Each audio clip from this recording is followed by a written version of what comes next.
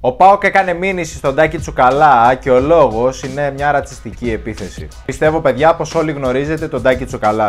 Άντε γεια! Άντε γεια! Άντε γεια! Άντε γεια! Λοιπόν, εγώ θα ήθελα να σας Ο Τάκης Τσουκαλάς εδώ και χρόνια παρουσίαζε την εκπομπή Αντεγιά στην τηλεόραση. Βέβαια αυτή η εκπομπή πλέον μεταδίδεται μέσω του ίντερνετ. Μετά την ισοπαλία του Ολυμπιακού με τον Μπάοκ, ο παρουσιαστής βγήκε στην εκπομπή του και είπε τα εξής. Μιλάτε ρε Βούλγαροι, Α, να σας λέω καταρχήν περιμένετε, κάτσε γιατί να μην μπερδευτώ, μην μπερδεύετε κι εσείς.